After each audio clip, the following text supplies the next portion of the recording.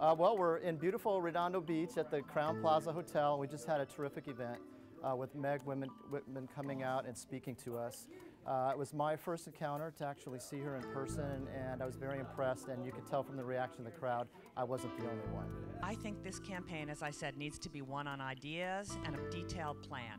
So I've done something that most politicians would never do, and that is put together a very detailed policy agenda.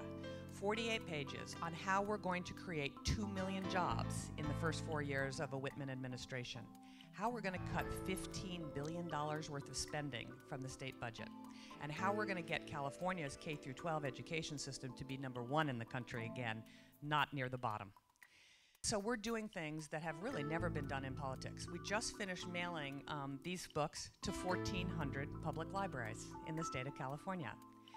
So we want to make sure that everyone, no matter what your technology capability, where, where you live, you have an opportunity to go read this plan. Now she's uh, putting her agenda at the libraries for people so that uh, they can read what's going on. I think it's fantastic that uh, we are really getting the message out, and that's why she is going to win because she's getting that message out at that level to the real people of California who need her. You can go to my website, www.megwhitman.com, and download this book in a PDF format. You can also text us.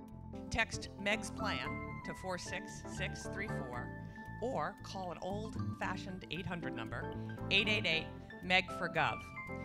And the reason I want to do this is I would like every single Californian to get a hold of this plan. California needs Meg because she understands fiscal responsibility. She understands that the state of California can be run cheaper, but stronger and faster in greater ways. California is going to give Florida, Texas, and any other state a run for their money once we have that Republican candidate, Meg Whitman, in office.